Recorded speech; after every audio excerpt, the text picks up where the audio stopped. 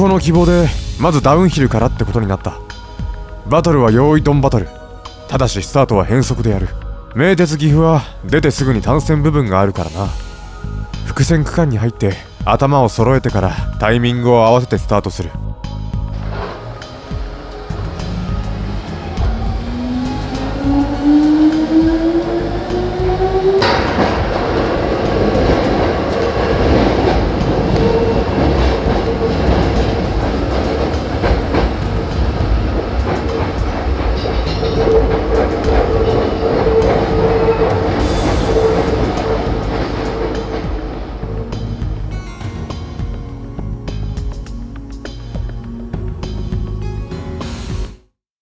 それじゃあカウント始めんぞ !5 秒前 !4、3、2、1、ゴー!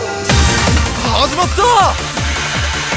トールさん俺はトールさんの強烈な回復運転にしびれて名鉄に入社したんだ。トールさんのパナスパにダウンヒルでついていけるやつなんて一人もいないよ。よそから来たポンコツなんかに負けるわけねえよ。バトルの醍醐味は何といっても限界ギリギリのコーナリングだ。一目見てすぐ分かったぜ。お前だって。そうなんだろう。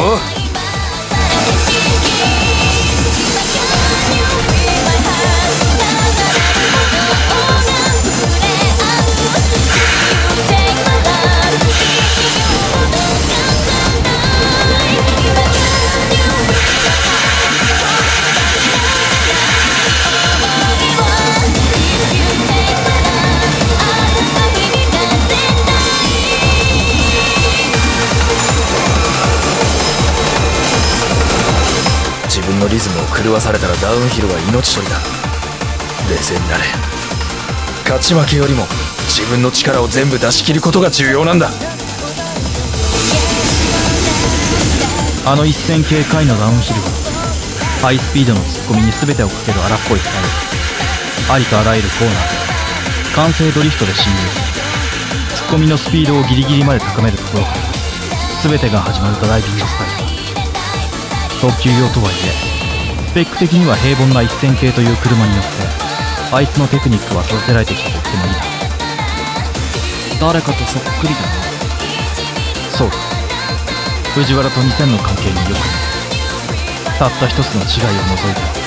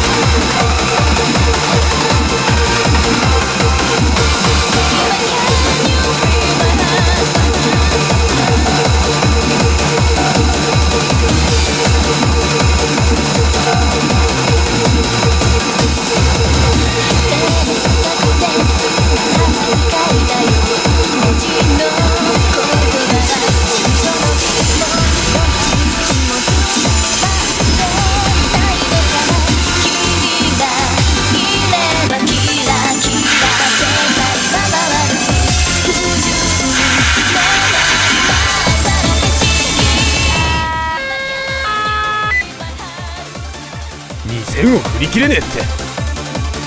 どうなってんだよ。わけわかんねえよ。トールが長い間の走り込みで身につけた最大の武器は誰にも負けねえツッコミの速さだ。あのツッコミにかなうやつなんかいねえはずだよ。あいつはここの全てのコーナーを知り尽くしている。昨日一晩だけ走ったのとは訳が違う。それなのにあの2000は離されるどころかついてきてるってのか。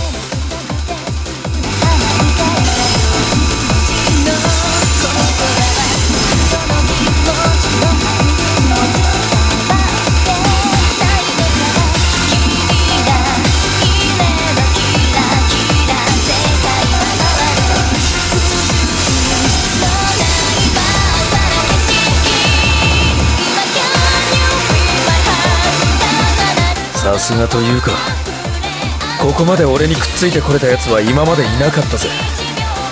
あれが普通の阪急2000系じゃないことは間違いないがそんなことより乗り手の問題だ。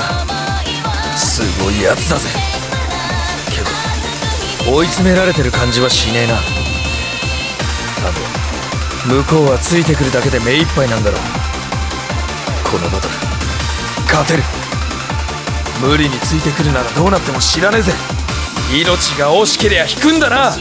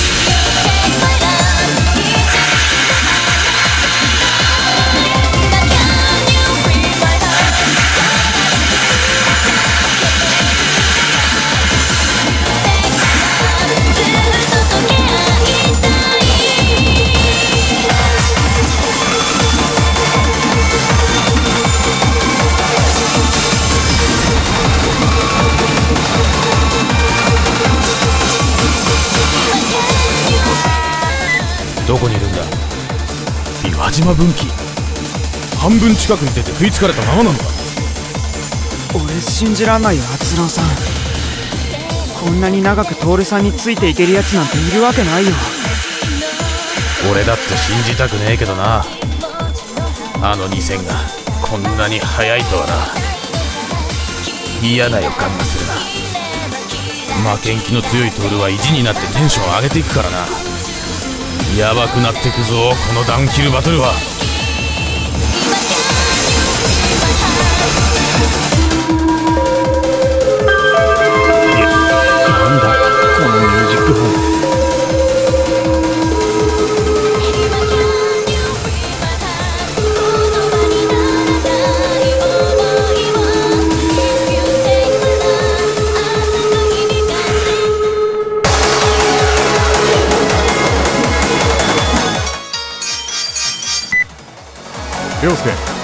だ差はついてないぞ。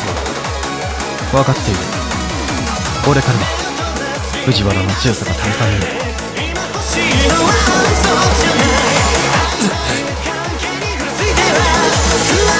張りつかれた。どうなってやがる。俺は乗れてるんだ。最高の走りができてる。一体何なんだこいつ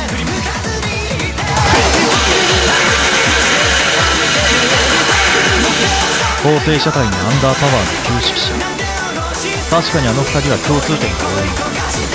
二人とも天性のスピード感覚でハイスピードのコーナリングが組んでいるおそらく両者の決定的な分岐点となるのはそのテクニックの洗練度旧来からの路線の場合地形や用地確保などさまざまな事情から不自然な線形の路線も数多く単純な運転曲線で理想の結果を得られない曖昧な区間が多いそういう区間の処理能力藤原と相手の走りの差になってこれが軌道最速理論の中で重要なポイントの一つだそ誰が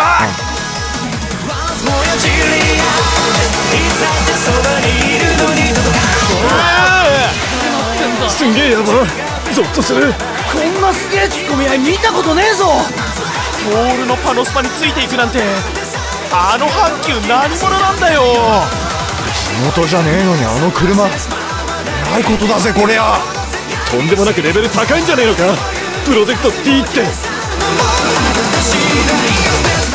神宮前を通過したってさ。相変わらず食いつかれてるらしい。こっちが考えてたよりもはるかにレベルの高い相手だ。けど厚郎さん振り切れなくてもそれで徹さんが負けるわけじゃねえんだから。順番変わって2本目に突入するだけだし勝負はまだこれからでしょ徹さんが抜かれるなんてことはありえないっすよ。そろそろだな。勝負をかけるポイントに近づいてるねえんだぞトールもったいぶらないで教えて走りに切り替えていけよどんな作戦なんだ？作戦というほど大きなことではない直線ドリフトの応用とそう。だ一言で言う。な苦戦ドリフト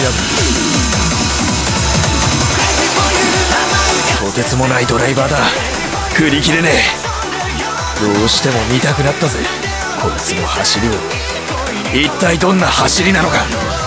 名鉄名古屋本線をどんな風に攻めるのか。俺とどこが違うのか。何が何でも2本目に行くぜ。俺はこいつのテクニックを見てえんだ。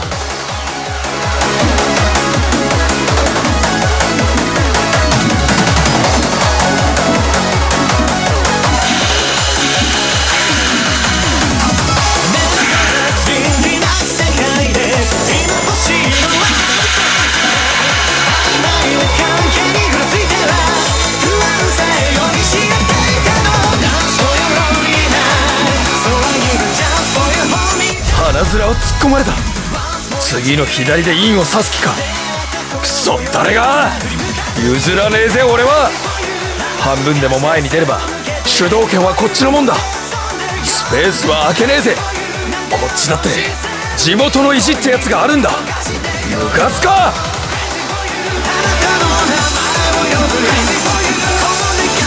なんだと。そんなとこに線路はないはずだ。前一体どこを走ってんだ。荷重移動のテクニックに応用だ。限界スピードのコーナリングでは荷重の大半は外側の4個の車輪につくそこから立行を指令してさらにギア側に荷重を移動させるんだ。つまり意図的に強い荷重移動を作り出しイン側のフロント荷重をメインそれができれば苦戦をまたがずにドリフトができる。抜かれた。俺夢でも見てんのか。今のは何だ。何が起こった。コーナーじゃこっちが絶対に有利なんだ。なのになぜ俺より早く立ち上がれる。一体何が起こったのか。もう一度目の前で見せてくれ。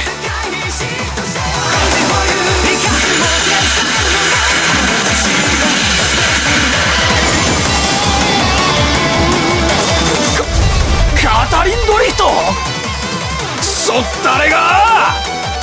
あっちにできることなら俺にだって行くしかねえ。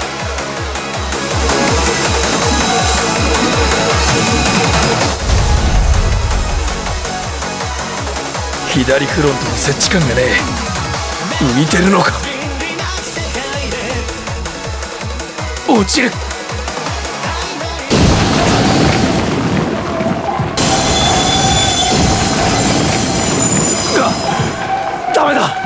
戻れねえ。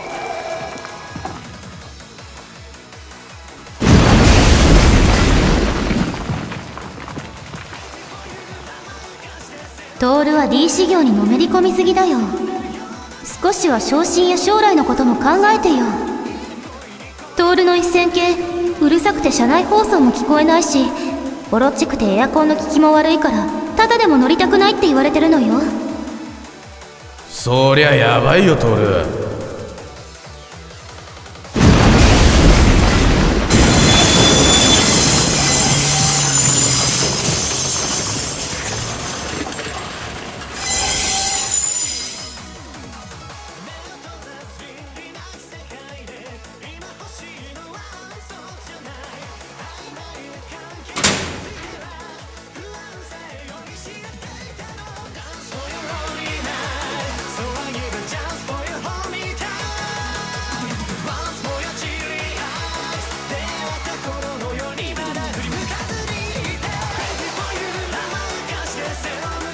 乗務員は無事なのか？